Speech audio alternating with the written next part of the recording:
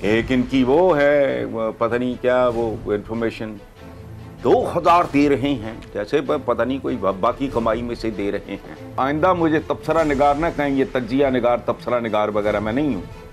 ये कसाईयों वाला काम है। गैस बिजली, अद्वियात और किचन आइटम्स एसेंशियल की कीमतों की वजह से आवाम तकलीफ़ में है। एक और बजट जिसको मैं सुपर बजट कहना चाहता हूँ वो आईएमएफ के प्रेशर में पेश कर दिया। खुदा के लिए IMF part of the solution नहीं है पार्ट ऑफ़ द प्रॉब्लम है। क्यों नहीं मिल रहा आईएमएफ से मुहिदा क्यों नहीं हो पा रहा? और सुनने में ये भी आया सुनीद ये भी है कि बैरूनी दुनिया के लोग आप पर भरोसा कर नहीं पा रहे। इमीडिएटली जिस तरह से हम कह रहे थे पहले कि अमेंडमेंट्स करेंगे और उसके बाद फ़ौरन जो है ना इंतखाब में चले जाएँगे यही हमारी मंशा थी। जब ये कैरी हो गई थी नो कॉन्फिडेंस तो मौलाना ने मेरी मौजूदगी में बिलावल साहब को और शहबाज साहब भी उसमें बैठे थे। उनको कहा था कि जी हमारा काम तो हो गया है। क्रिमिनल जस्टिस सिस्टम है। It punishes the poor and protects protects the rich चंद दिन पहले मरियम ने कहा था, कोई सियासी मुस्तबिल खत्म हो गया, उसका मुस्तकबिल तो शुरू अब हुआ है. जना साहब कहीं आके पूछे आके पूछ लें कि मैंने जो दिन रात की मेहनत से जो मुल्क बनाया था, किधर है?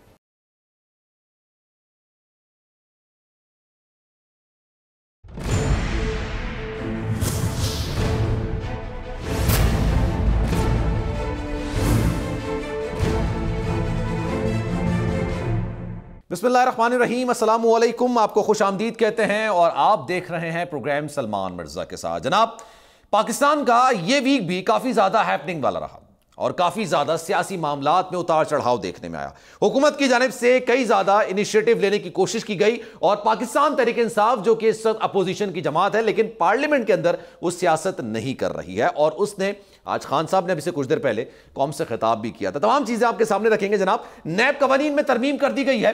और जो नैब कवानीन बनाया गया है, खान साहब ने उस पर शदीद तहफात का इजहार किया। अभी ये नैब कवानीन पर बात ही हो रही थी कि दो दिन बाद एक जनाब, एक और बजट पेश कर दिया गया और ये बजट प्लस था, सुपर बजट आप इसको कह सकते हैं। सुपर बजट और इस तरह का बजट पेश किया गया है जनाब कि इस पर 10 फ़ीसद अमीरों पर टैक्स लगाया गया और उसका बुनियादी मकसद जो बताया जा रहा है, वो ये बताया जा रहा है कि अमीरों से पैसा लिया जाएगा और गरीबों में बांटा जाएगा।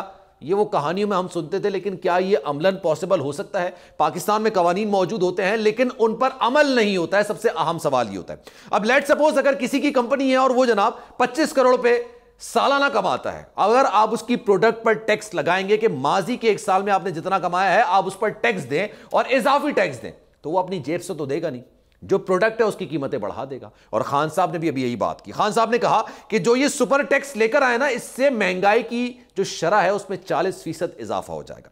खान साहब आपसे कुछ देर पहले जो गुफ्तगू कर रहे थे, उसमें उन्होंने कहा कि जनाब, नैब कवानीन को आज हमने सुप्रीम कोर्ट में चैलेंज कर दिया है, क्योंकि नैब कवानीन को अगर तस्लीम कर लिया जाए तो पाकिस्तान को फिर किसी दुश्मन की ज़रूरत नहीं है। साथ साथ उन्होंने अदालत पर एतमाद का इजहार करते हुए कहा है कि अदालत पाकिस्तान पर ऐसा जुल्म नहीं होने देगी। तो आज उन्होंने कहा है कि जनाब, हम ये जो टैक्स है, इसको भी नहीं मानते जो सुपर टैक्स लगाया गया, इससे महँगाई में इजाफा होगा। साथ साथ उन्होंने जो डॉलर की बढ़ती कीमत है, उस पर भी तहफात का इजहार कर दिया है। और जनाब, नैब कवानीन को उन्होंने आज सुप्रीम कोर्ट में चैलेंज कर दिया है। इसी पर मजीद बात करेंगे। हसन निसार साहब, तजियाकार इस वक्त हमारे साथ मौजूद है, उनसे मजीद बात करेंगे और आगे चल के मुश्ताक अहमद साहब और साथ साथ कामरान मुर्तजा, ये दोनों शख्सियात भी हमें ज्वाइन करेंगी। तो जनाब, स्टार्ट करते हैं। हसन निसार साहब से। हसन निसार साहब, बताइएगा सर ये काफ़ी ज़्यादा हैपनिंग वाला महीना रहा। और खान साहब ने जो ये नैब कवानीन है इसमें तरमीम के हवाले से सुप्रीम कोर्ट में सूरत हाल को चैलेंज कर दिया। कैसे देखते हैं आप सारी सूरत हाल को? ओ भाई ये आप बात कर रहे हो एक हफ़्ता बड़ा यूँ रहा। आपके तो सारे चौहत्तर साल यूँ रहे मुझे कोई दो चार एक, एक आध टर्म ऐसी गिनाओ आप जिसमें अजीबो गरीब किस्म की मज़का खेज और आदमखोर किस्म की अवाम खोर किस्म खोर किस्म की बातें ना हुई हों। आधा मुल्क आपने गंवा दिया, पानी आपने गंवा दिए अपने। एक मुल्क जो मर्ज वजूद में आया तबाही बर्बादी के, लंबी चौड़ी बर्बादियों के नतीजे में, लेकिन जो कुछ भी था, इस मुल्क का कोई फर्द मकरूज नहीं था। उन्नीस सौ सैंतालीस जब पाकिस्तान का क्याम हुआ। बिल्कुल। आज जो बच्चे पैदा भी नहीं हुए अभी वो भी मकरूज हैं आपने गिरवी रखे हुए हैं। तो आपका कौन सा अब हफ़्ता है जो पुरसकून गुजरा हो? तो समझा दें मुझे। तो इसलिए ये कहना कि ये पिछला हफ़्ता ये हर बार इतना ही ज़ोर रखता है लोगों का। सूरत हाल बयान करने पे ऐसे बयान करते हैं जैसे कोई नई बात हो गई है। अब आपने सुपर टैक्स उस सुपर टैक्स को फ्रॉड है। Ultimately you will have to pay it I will have to pay it and a common man will have to pay it पानी ढलान की तरफ़ जाता है। ये बाप के घर से लाएँगे। एक इनकी वो है पता नहीं क्या वो इंफॉर्मेशन दो हज़ार दे रहे हैं जैसे पता नहीं कोई बाकी कमाई में से दे रहे हैं। और दो हज़ार। वो पाँच सात सौ को तो सिगरेट का पैकेट हो गया है दो हज़ार। ऐसे चीख चीख के वो बता रही थी मैं हैरान था परवरदिगार। इनको पूछने बताने वाला भी कोई नहीं है। अच्छा अब आपने जो अगली बात की है ये एहतसाब कवानीन ओ भाई उसका एक एक कानून बोल रहा है कि मैं क्यों और किस वजह से मर्ज वजूद में आया हूँ। उस पर क्या तबसरा? और आइंदा मुझे तबसरा निगार ना कहें ये तजिया निगार तबसरा निगार वगैरह मैं नहीं हूँ। ये कसाइयों वाला काम है। दस्ती की बोटी अलहदा गर्दन की बोटी अलहदा ये वो ये, ये क्या है ये? तजिया किस बात का? चौहत्तर साल तजिया। तजिए पे तजिया। ये एक हमारा it is one of the professions जिसमें हम लोग इन्वॉल्व हैं। तो तजिया बजिया किस बात का तजिया? ये नज़र नहीं आ रहा कि अगर मैं हराम खा रहा हूँ मेरे साथ से beyond my income non income से ज़्यादा हैं। और मैंने आपके या किसी रिश्तेदार के दोस्त के भाई के चपड़ासी के मुलाजम के किसी ड्राइवर के अपने गार्ड्स के नाम पे रखे हुए हैं। तो आप कोई मुझसे माँ का लाल पूछ नहीं सकता। सुबह अल्लाह ऊपर से उठता है वो आपका एहसन इकबाल करप्शन के बगैर। मैंने लिस्ट लंबी गिनवाई है, कल परसों मैंने अपने ही प्रोग्राम में। वो मैंने कहा ये मुल्क है महजब दुनिया में तरक्की याफ्ता। यहाँ करप्शन का देखो, सूरत हाल क्या है। और ये है, जिनका बेड़ा गर्क हुआ हुआ है। और इतनी बड़ी बात करके ही गॉट अवे विद इट यानी दीनी तालीमात की भी नफी की उसने सरे बाज़ार अखबारों में छपा। तो अब ये जो आप मातम करता करते फिर रहे हैं लोगों के एहतसाब कवानीन तो भाई यहाँ कवानीन खिलवाड़ के लिए हैं। ये मोम की नाक है हर कानून पाकिस्तान का। सारी पाकिस्तान की जेलें भरी हुई हैं मुजरमों से। उनमें बताओ मुझे कोई तगड़ा बंदा है? ये निज़ाम पूरे का पूरा एक फ्रॉड एक इस तरह का ये जाल है जिसमें से मक्खियाँ मेंढक ये पकड़े जाते हैं। मगरमच्छ पे तो सवाल ही नहीं पता तोड़ के निकल जाता है। जाल फिर अपनी जगह पे वापस चला जाता है। मारे के लिए कमज़ोर के लिए। आपके टाइटल्स छपते हैं। पाकिस्तान का जो क्रिमिनल जस्टिस सिस्टम है it punishes the poor and protects protects the rich कोई नई बात आई? कुछ भी नहीं। अच्छा। सर लेकिन एक चीज़ और भी तो है ना हसन साहब एक चीज़ तो कमेंट करने के भी काबिल नहीं है एक चीज़ ये भी तो है ना सर नैब में माजी में ये भी होता था नब्बे दिन का रिमांड ले लिया प्रोसिक्यूटर मामला बाद में पेश कर रहा है केसेस बाद में बन रहे हैं बंदे को उठा लिया पकड़ लिया कुछ साबित नहीं हो पाया। ये भी तो एक एलिमेंट है ना कि जनाब आपने उनकी किरदार कुछ इतनी कर दी कि अब वो अपने घर वालों को मुँह दिखाने के काबिल न रहे और उसके डेढ़ दो साल बाद पता चला कि नहीं भाई गलती हो गई यार एक मिनट एक मिनट एक मिनट। ये क्लिशास जो हैं ये घिसी पिटी बातें हम करते रहते हैं मुँह दिखाने के काबिल नहीं। क्यों काबिल नहीं रहे भाई? पूरी दुनिया में जहाँ जाते हैं लोग चोर चोर के नारे मारते हैं पूरी कौम को मुँह दिखाते हैं। क्यों नहीं रहे और दूसरी बात यह है कि इस तरह की जो बात आप कर रहे हैं ये जुजवी तौर पर दुरुस्त है। उनको तब्दील करो आप। सौ दफ़ा करो। ये बिल्कुल सही है। ये ब्लैक मेलिंग है ये बदमाशी है। इसको तब्दील करो। ये कहाँ से हो गया भाई? कि मेरे एहसास से उनका मैं साबी देने के काबिल नहीं हूँ। अच्छा और अगर मैंने अपने लग लपेट चमचे कड़छों के नाम पे रखे हुए हैं उन पे भी को हाथ नहीं डाल सकता और सुबह अल्लाह तुम कर क्या रहे हो? तुम सीधा सीधा एतराफ जुर्म ही जिस तरफ़ आपने इशारा किया दैट इज़ करेक्ट उसको रेक्टिफाई करो। बिल्कुल। जो कमजोरियाँ हैं जो जहाँ जहाँ डेंटिंग पेंटिंग की ज़रूरत थी वहाँ आप ज़रूर करो। आपने तो बेड़ा ही कर करके करके रख दिया उसका। आपने उसके दांत नहीं निकाले आपने उसका जबड़ा ही गायब कर दिया है। अब एक और हिजड़ा किस्म का ये महकमा बन जाएगा। वो क्या कहते हैं? वैपडा है बिजली नहीं है थाना है लॉ एंड ऑर्डर नहीं है। फलाना है पानी नहीं है वासा है पानी नहीं है फलां है फलां नहीं है। अदालत है इंसाफ नहीं है तो इसी तरह नैब है एहतसाब नहीं है ख़त्म। ये रिवायत है आपकी चौहत्तर साल यही झके मार मार के तो यहाँ पहुँचे हो आप गदागरों की तरह फिर रहे हैं। तुर्की में जाकर तकरीर करते हैं आप समझेंगे मैं मांगने आया हूँ लेकिन बड़ी मजबूरी है जी। समझेंगे तो आप ठीक ही लेकिन बड़ी मजबूरी है जी। सऊदी अरेबियन क्राउन प्रिंस कहता है क्यों यार को काम करो तुम क्या ठूठा लेके आ जाते हो कशकोल लेके? लेकिन एक बात याद रखना, गदागर का कशकोल कभी नहीं भरा और लालची की तजारी कभी, तिजोरी कभी नहीं भरी। सो ये दोनों ने नहीं भरना इस मुल्क में। It's a bunch of beggars इनके कशकोल खाली रहेंगे और तिजोरियाँ इनकी भरती रहेंगी। उम्र व यार की जंबील की तरह जूं जूं तिजोरियों में जाता जाएगा, तिजोरियाँ फैलती चली जाएँगी। बाकी नतीजा सामने है मुल्क। मतलब मुल्क अगर नाम होता है, एक कौमी परचम, एक कौमी तराना, अरे पता नहीं, ऐसी दो चार चीज़ें। फिर तो ये मुल्क है। अदरवाइज़ अगर मुल्क रियासत नाम है, अपने हवाम की देखभाल की, उनको रियासत होगी, वो जो एतजाज़ आसन साहब कहा करते थे माँ के जैसी, अगर माँ के जैसी है तो रियासत है, वरना क्या है? एक झंडा है, उसके नीचे एक डंडा है, और एक कौमी तराना है। कोई बाकी को दो चार किस्म के कोई नखरे नुखरे हैं, एक एक आदमी वज़ीर अजम कहलाता है, एक फलाना होता है तुम घर में क्या है? भाई सारा जो फसाद है, वो बिल्कुल ठीक है, एक फ़िल्म चल रही है। मुल्क मुल्क वाला तो आपको मामला ऐसा सच रह नहीं गया। रोज नित नया ड्रामा करते हैं, दो हज़ार दे रहे हैं, और दो हज़ार अम्मा का जहेज बेच के दे रहे हैं। आप क्या दे रहे हैं? दो हज़ार देने पे इतना? जो ले गए वो और बात है।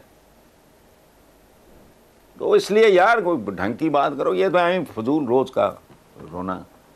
ठीक है सर एक, एक चलें ये बताइए खान साहब के खिलाफ भी एक कार्रवाई करने का फैसला कर रहे हैं ये आर्टिकल सिक्स का शोशा हर दफ़ा छोड़ा जाता है। आपको लग रहा है आर्टिकल सिक्स लगाने की तैयारी हो रही है मुकदमात बनाए जा रहे हैं? खान साहब को गिरफ़्तार करने की तैयारी की जाए आर्टिकल यार ये जो मर्ज़ी कर रहे हैं कख भी नहीं होना। लगाएँगे ओ इनके साथ कुछ नहीं हुआ। हाँ। ओ भाई लगता है ये जिन पे लग सकता था वहाँ नहीं लगा लग भी जाएगा तो क्या बिगाड़ लेगा? हम्म। कौन सा बरगद का पेड़ उखाड़ लेगा ये? हम्म। सवाए इसके कि ये इमरान दिन रात इनको वर्द का बेवकूफ़ लोग हैं। भाई इनको समझ नहीं आ रही इमरान कहते ना वो चंद दिन पहले मरियम ने कहा था कोई सियासी मुस्तकबिल ख़त्म हो गया उसका मुस्तबिल तो शुरू अब हुआ है। देखते जाओ होता क्या है। उसका राउंड मुकम्मल हो गया है। लंबा राउंड ऑपोजिशन फिर इकतदार फिर इकतदार देखने के बाद की ऑपोजिशन वो एक और तजर्बा होता है।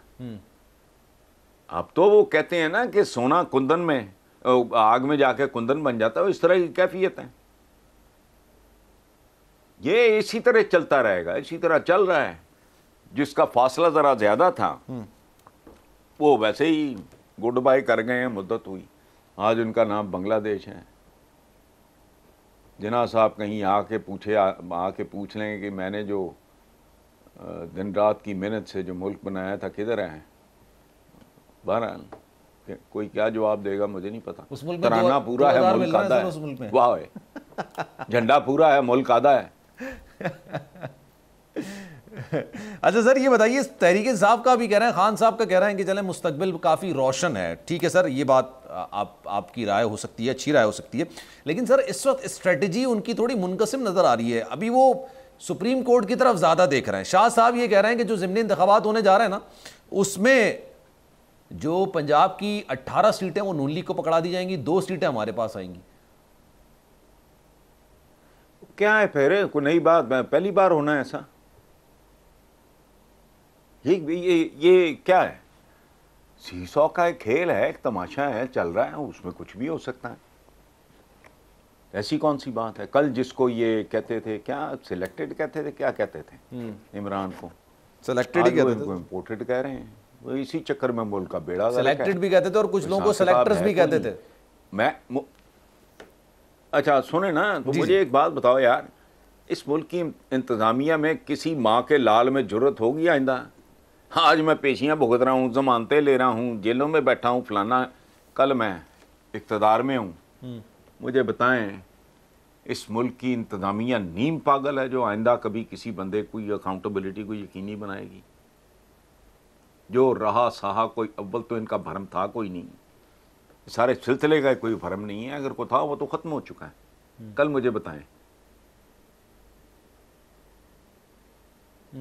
इस मुल्क की इंतज़ामिया की क्या औकात रह गई है? आज ये जो नैबें शैबें अदालतें फलाना टमकाना ये सब ताम झाम चल रहा था ना एक? जमानतें हो रही हैं जी जमानतों पे हैं जी। इस केस में हो गई उस केस में हो गई ये नायब के पेशी हो गई फलां जगह हो गई अदालत पहुँच गए फलाना। पता लगा क्या? सुबह उठ के देखा हैं? वो ये तो वज़ीर आज़म था हमारा। तो आपकी किसी चीज़ की कोई क्रेडिबिलिटी कोई औकात नहीं। और एक बात जो आपने कही कि जी औखा पैंडा ही हो कोई औखा शौखा पैंडा नहीं है। यहाँ किसी वक्त कुछ भी हो सकता है।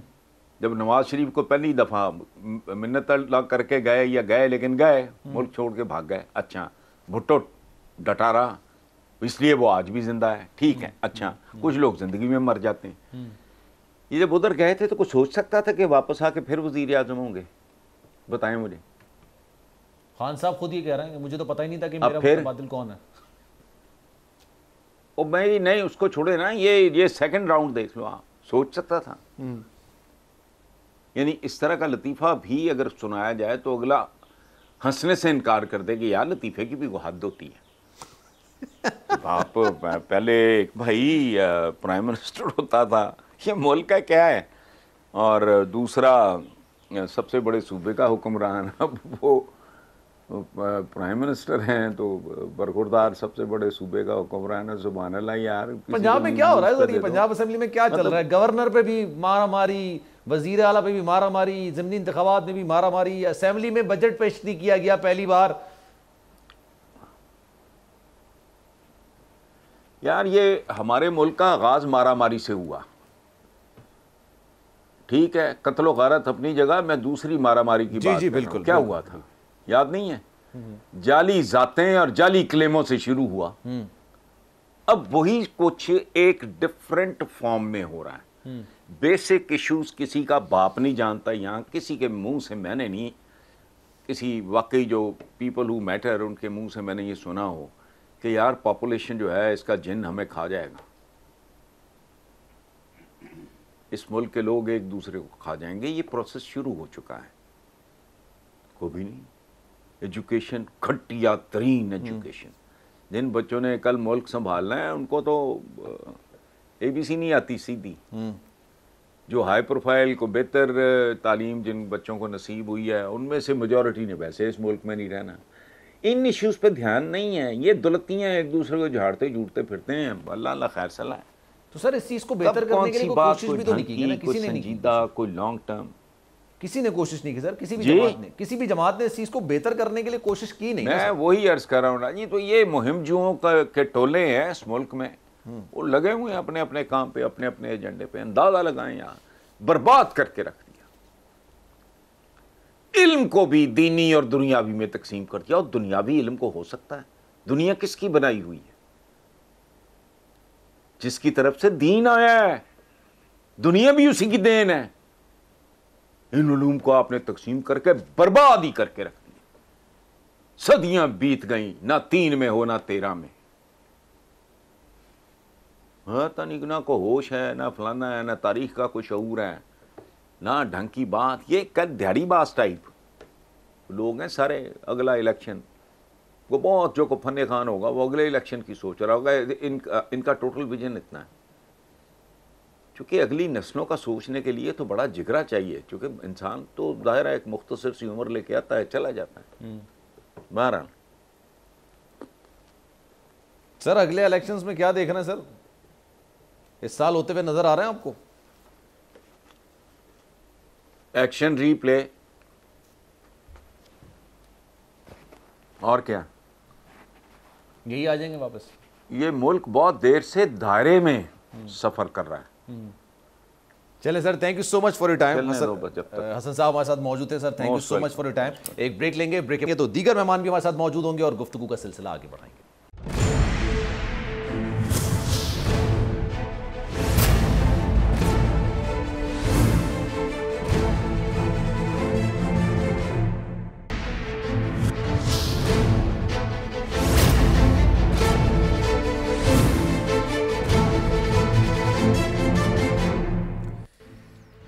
प्रोग्राम एक बार फिर से आपको खुशामदीद कहते हैं और जनाब, महँगाई मुल्क में हद से ज़्यादा बढ़ चुकी है। पेट्रोल की कीमतों में इजाफा, फिर सुपर टैक्स भी लगा दिया गया है और इस महँगाई के खिलाफ ही जमात इस्लामी ने एहतजाज का ऐलान किया है। ट्रेन मार्च का वो ऐलान कर चुके हैं और साथ साथ जे जो कि काफ़ी पहले जब अपोजिशन में थे, हुकूमत में नहीं थे, तब वो उनका, इनका इसरार था जनाब कि महँगाई हद से ज़्यादा है, जिसको कम किया जाना चाहिए। अगर उस खान साहब के दौर में महँगाई थी तो फिर अब क्या कहेंगे कि कितनी महँगाई है? तो जनाब जे यू आई के रहनुमा कामरान मुर्तज़ा साहब इस वक्त मुझे ज्वाइन कर चुके हैं और जमात इस्लामी के मुश्ताक अहमद साहब इस वक्त मुझे ज्वाइन कर रहे हैं। बहुत शुक्रिया आपका दोनों सेनेटर्स हैं। स्टार्टिंग फ्रॉम यू मुश्ताक साहब ये बताइएगा।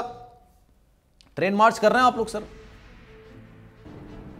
जी बिल्कुल इस वक्त ट्रेन मार्च ट्रेन मार्च जो है वो मुल्तान पहुँच चुका है। ये महँगाई के खिलाफ ट्रेन मार्च हैं और जो आवाम इस वक्त तकलीफ़ में है पेट्रोल डीजल गैस बिजली अद्वियात और किचन आइटम्स एसेंशियल की कीमतों की वजह से आवाम तकलीफ़ में है हम्म। इसके साथ जो टैक्सों का भरमार है हम्म। आप देख रहे हैं कि एक तरफ़ तो हुकूमत ने बजट पेश कर लिया और दूसरी तरफ़ जब उस बजट के ऊपर डिस्कशन कंक्लूड हुआ हम्म। तो एक और बजट जिसको मैं सुपर बजट कहना चाहता हूँ वो आईएमएफ के प्रेशर में पेश कर दिया इस सुपर बजट में आपने देखा कि 10 फ़ीसद जो है वो उन्होंने सुपर टैक्स लगा दिया है, है। तेरह जो लार्ज स्केल इंडस्ट्री है उसके ऊपर लेकिन ये उसके ऊपर नहीं है ये दरअसल आवाम के ऊपर है जो कि पासान होगा इन्होंने सिर्फ़ बहाना बनाया है, आड़ दिया है कि ये हम लार्ज स्केल इंडस्ट्री के ऊपर लगा रहे हैं, लेकिन आपको पता है कि कोई मैकेनिज़्म कोई गारंटी नहीं है कि ये पास ऑन नहीं होगा।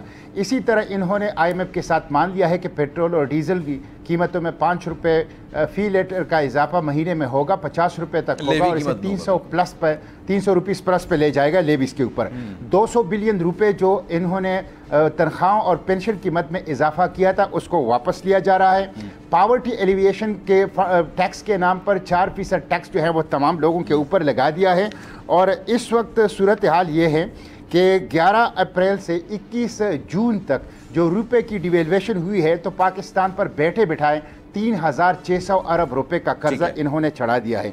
तो मैं समझता हूँ कि इनके पास कोई और आउट ऑफ़ बॉक्स थिंकिंग नहीं है।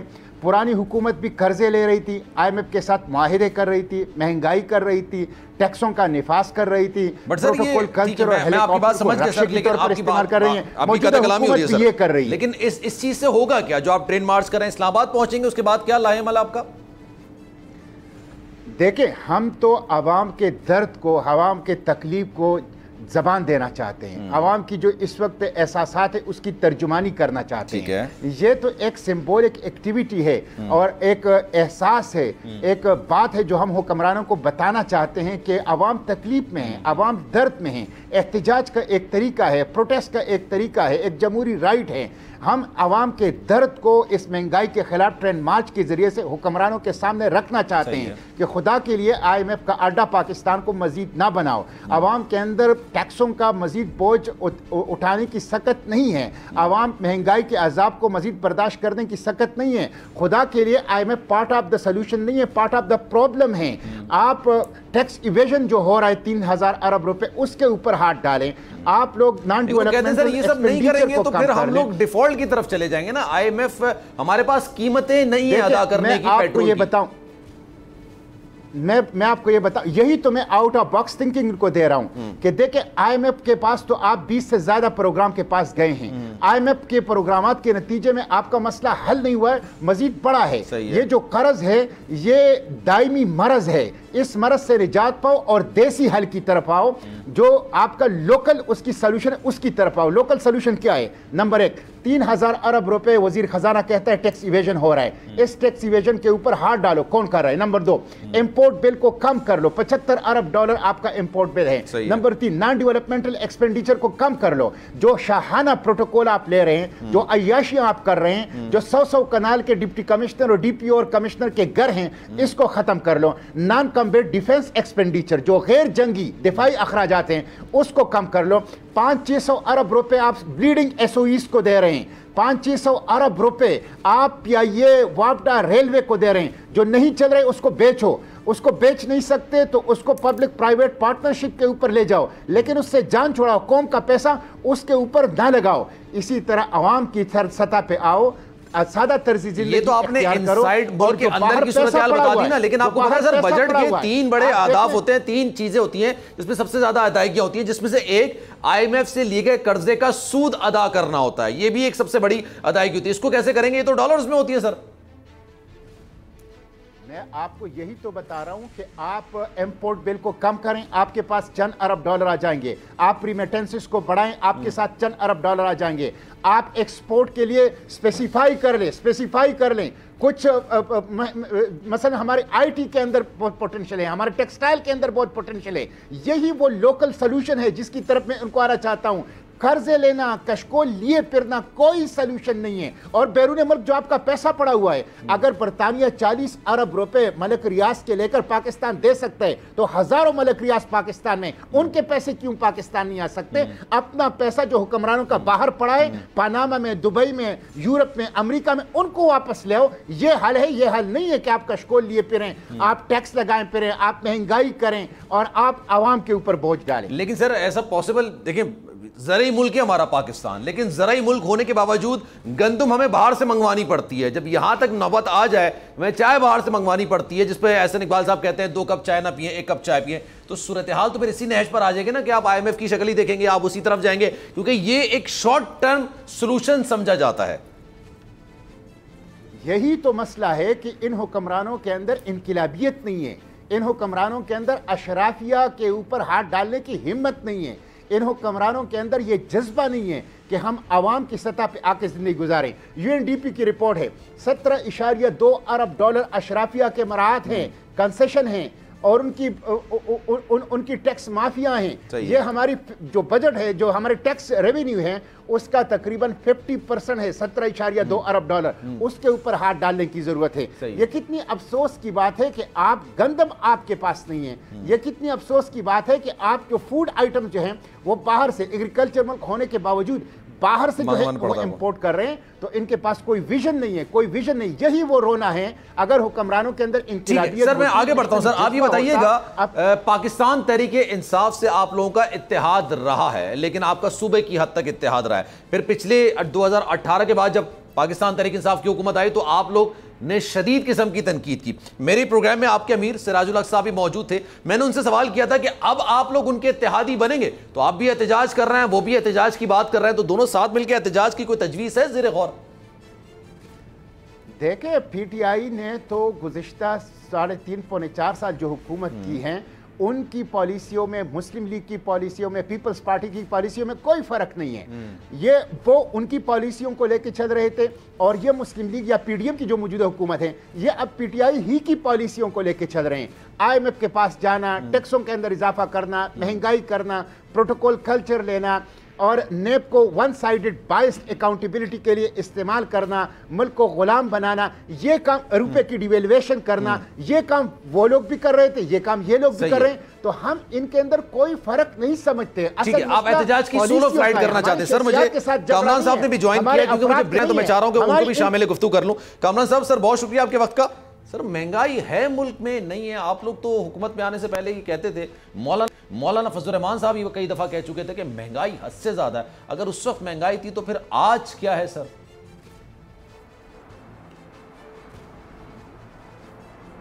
जी कल भी यही हम कह रहे थे आज भी यही कह रहे हैं। महँगाई उससे भी ज़्यादा है जितनी कल थी। यकीनन ये बहुत बड़ी हद से ज़्यादा है और इसको कंट्रोल करने की कोशिश भी की जा रही है और हो नहीं पा रही है। फिल वक्त ये सूरत है। ठीक है अगर कंट्रोल नहीं हो पा रही है तो सर क्या ये अच्छा नहीं था? कि आप लोगों ने जो ये तहरीक अदम अतमाद लेकर आया आए एम के सरबरा रहे मौलाना फजल रहमान साहब, ये नहीं करते तो ज़्यादा बेहतर था, उन्हीं को एक्सपोज हो जाते, आप लोगों को तो अगली इलेक्शन मुहिम भी नहीं चलानी पड़ती।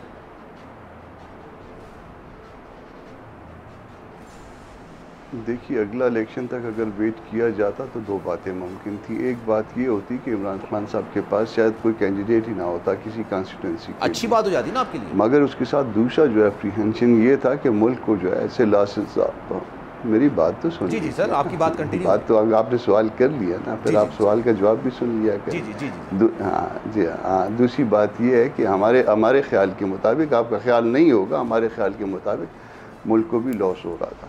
अब हम अपने तौर पे कोशिश कर रहे हैं, मगर इतना टाइम तो दीजिए ना कि उस लाश से निकालने की कोशिश करें या उस उस बहरान से निकालने की कोशिश करें। कोशिश हम यकीन कर रहे हैं, मुमकिन है कि वो कामयाब नहीं हो रही है, मुमकिन है हमारी डायरेक्शंस पे लोगों का एतराज़ हो सकता है, मगर बहरहाल हमारी कोशिश मौजूद है। ठीक है, आपकी कोशिश मौजूद है। आप टाइम की बात करें, क्योंकि मुझे भी ब्रेक लेना है टाइम मेरे पास भी कम है, आप लोगों के पास भी यकीनी तौर पर कम है इलेक्शंस की तरफ़ आप लोगों को भी जाना है। कितना टाइम आप लोगों ने तखमीना लगाया है? कि इतने टाइम तक हम मीशत को इस काबिल कर लेंगे कि आवाम में चले जाए? अब सर ये तीन सौ रुपये लीटर करने के बाद तो अब आवाम में नहीं जाएँगे ना पेट्रोल को।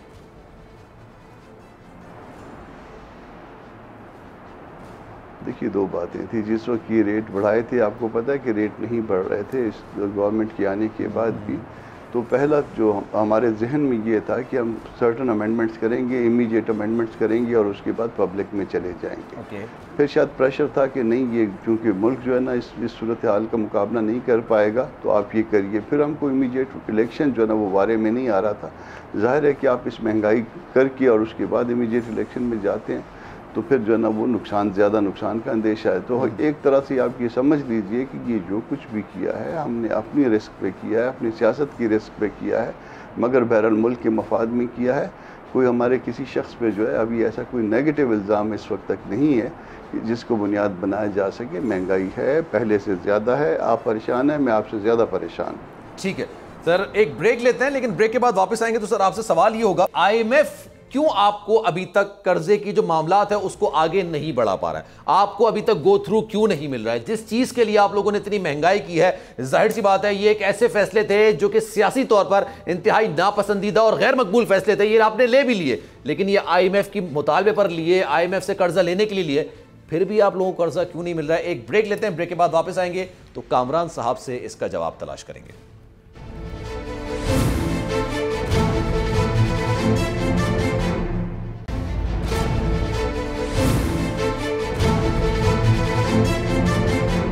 जनाब प्रोग्राम के आखिरी हिस्से में एक बार फिर से आपको खुश आमदीद कहते हैं। कामरान साहब हमारे साथ मौजूद हैं। मुश्ताक साहब ये हमारे साथ मौजूद हैं। कामरान साहब, ये बताइएगा, इतने सख्त फैसले जो कि आप खुद कह रहे हैं कि हमने अपनी सियासत अपनी सियासत को स्टेक पर रख के लिया है। हमने पाकिस्तान को बचाने के लिए इतने गैर मकबूल किस्म के फैसले किए सियासी तौर पर, आवाम पर बोझ डाला। लेकिन ऑब्वियसली बात है, आपने पाकिस्तान को बचाने के लिए डाला होगा। यही आप लोगों का नैरेटिव है, यही आप बात करते हैं। और उसमें एक नैरेटिव ये भी है कि आईएमएफ से कर्जा मिलेगा तो आप लोगों को थोड़ी सी हुकूमत को थोड़ा मुस्तकम की सूरत हाल का सामना करना पड़ेगा। सर क्यों नहीं मिल रहा आईएमएफ से मुहिदा क्यों नहीं हो पा रहा? और सुनने में ये भी है शुनीद ये भी है कि बैरूनी दुनिया के लोग आप पर भरोसा कर नहीं पा रहे क्योंकि एक साल की हुकूमत के साथ कोई मुहिदा करता नहीं है। ऐसा है सर? ये यकीनन ये एक मिलियन डॉलर का सवाल है कि आईएमएफ जो है वो आप पे भरोसा क्यों नहीं कर पा रहा? हम्म। आईएमएफ के साथ कोई भी जो आखिरी अल्टीमेट जो इससे पहले जो, इससे प्रीवियस जो कोई भी जो एग्रीमेंट है, वो किसका है इस हुकूमत का तो नहीं है ना। इससे पहले वाली हुकूमत का है। हमें आए हुए जुमा जुमा आठ दिन हुए हैं इसमें हमने कोई ऐसी चीज़ जो है ना वॉलेट नहीं की होगी बज़ाहिर जो है ना, हम आई आई एम एफ़ की लाइन पे चले होंगे और इसके बावजूद जो है ना, वो भरोसा नहीं कर रहा तो कोई वजह होगी ना यकीनन तो वो वजह जानने की जब आप कोशिश करेंगे तो वो आपको इमरान हुकूमत जो है ना वो मिलेगी कि वो उसने जो है ना वो उनके साथ किए गए माहों को तोड़ा और शायद जानबूझ के तोड़ा और उस वक्त तोड़ा जब उसको ये उम्मीद पैदा हो गई जब उसको पता चल गया कि हम कल रहने वाले नहीं हैं। उन्होंने उस माहों को उस एग्रीमेंट को वॉयलेट कर दिया।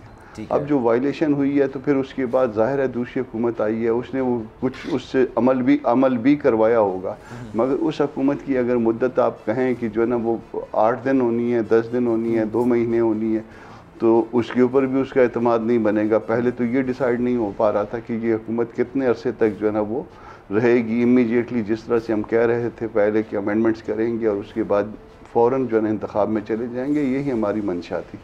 मगर उस गवर्नमेंट के ऊपर जो है ना वो किस तरह से एतबार करे, जबकि पिछली गवर्नमेंट ने एक वॉल्यूशन कर ली हुई थी तो फिर जो है ना डिसीज़न ये हुआ, हमारी पार्टियों की सतह पे तमाम पार्टियाँ बैठी कि इस बकाया मुद्दत को कंटिन्यू किया जाए और तब जो है ना आईएमएफ के साथ बात की जाए मगर स्टिल जो है ना वायलेशन इतनी बड़ी हैं, या इस तरह से हैं कि वो अभी तक जो है ना वो ट्रस्ट जो है ना वो बन नहीं पा रहा तो बहरहाल हम कोशिश कर रहे हैं हम कोशिश की कोई भी शख्स कोई भी इंसान जो है ना वो कोशिश का मुकल्लफ होता है और कोशिश अगर उसकी राइट डायरेक्शन पे हो ठीक है सर आपकी तो बात सर एक पे सवाल है जाके मेरे जहन में मैं चाहूँ तो मैं चाह रहा हूँ आपसे पूछना। आपने कहा सर आप आपका ये इरादा था कि अमिटमेंट्स करते और उसके बाद आप लोग इलेक्शन में चले जाते यही आपका इरादा था। अक्सर सियासी जमातें जो कि आप लोगों के इत्तेहादियों कहते हैं कि नहीं हमारा तो इरादा ये नहीं था हमने तो पूरा टेन्योर पूरा करना है और टेन्योर की तरफ़ ही जाना है पार्लियामेंट अपनी मुद्दत पूरी करेगी।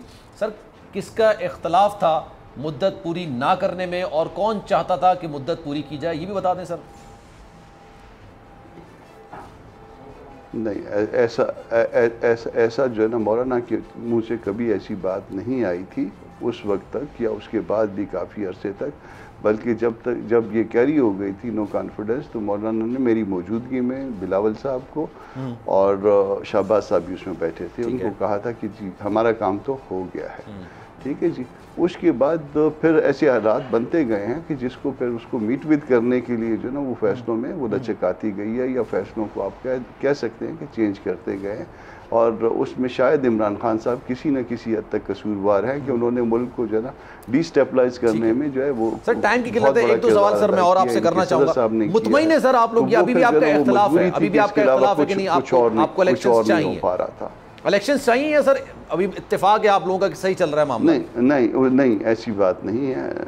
नहीं उस उसमें उस, उसके उसके बाद ये डिसीज़न ले लिया गया था पार्टी की सतह पे कि नहीं अब जो है ना हमने मुद्दत पूरी करनी है क्योंकि हम बड़े फैसले करने जा रहे हैं। अब इसके बाद जो है ना इमीडिएट इलेक्शन जो है ना वो वारे में नहीं होंगे। सियासी मजीद बड़ी सियासी खुदकशी होगी। ठीक है। अच्छा सर मुझे फिर मुश्ताक साहब की तरफ़ भी जाना है। एक सवाल मैं आपसे और करना चाहता हूँ। सर यही बताइएगा, अभी जो इस वक्त सूरत हाल सारी बन रही है, सारा मामला चल रहा है। आप कानूनदान भी हैं। नैब कवानीन में तरमीम पर आप इत्तेफाक करते हैं। आपको लगता है बिल्कुल सही हुआ है? क्योंकि आप लोग तो कहते थे कि नैब न्याजी गठजोड़ है। आपके पास एक अच्छा मौका था। आप यही चीज़ उनके लिए भी इस्तेमाल कर सकते थे। आपने नहीं की और इस सारे मामले को ख़त्म कर दिया। लेकिन आपको लगता है कि अब इमरान खान साहब को भी नैब का चेयरमैन बना दिया जाए, तब भी वो किसी के खिलाफ कुछ साबित तो कर नहीं सकेंगे ना?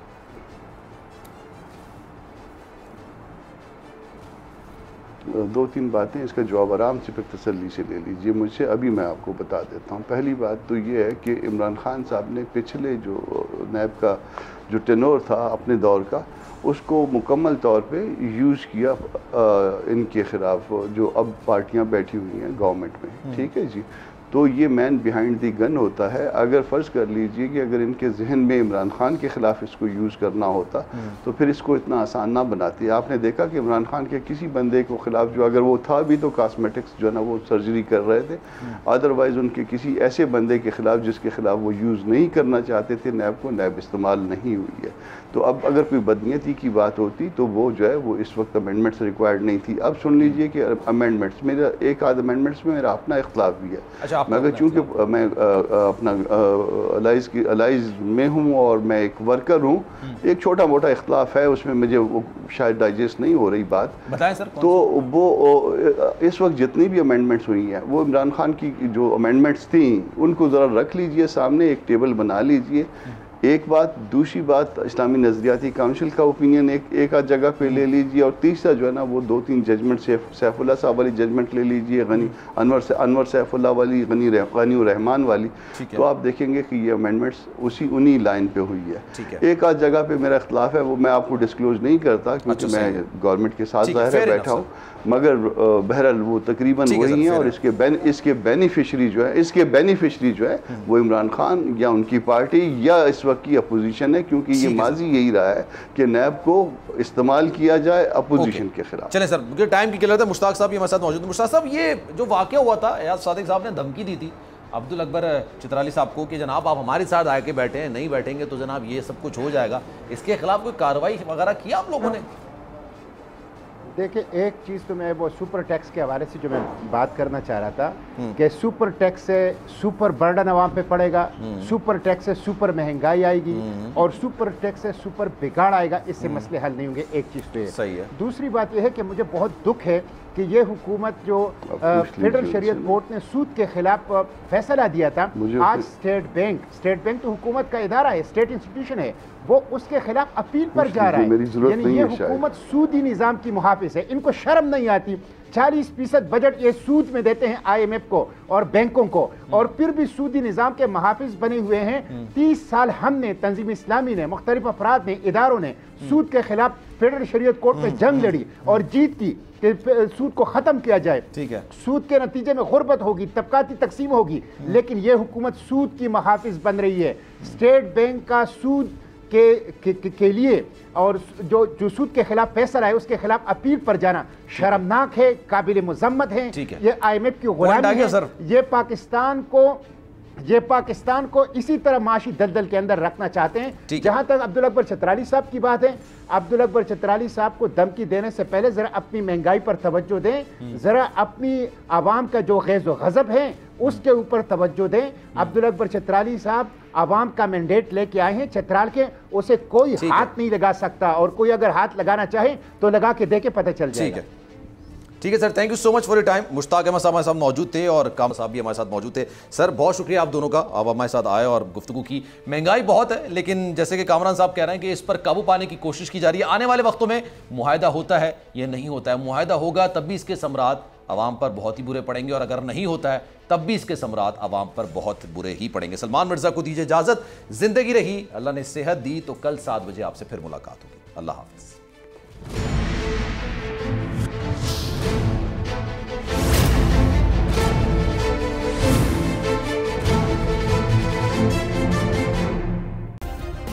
सब्सक्राइब करें और बेल दबाएँ ताकि कोई खबर रह न जाए।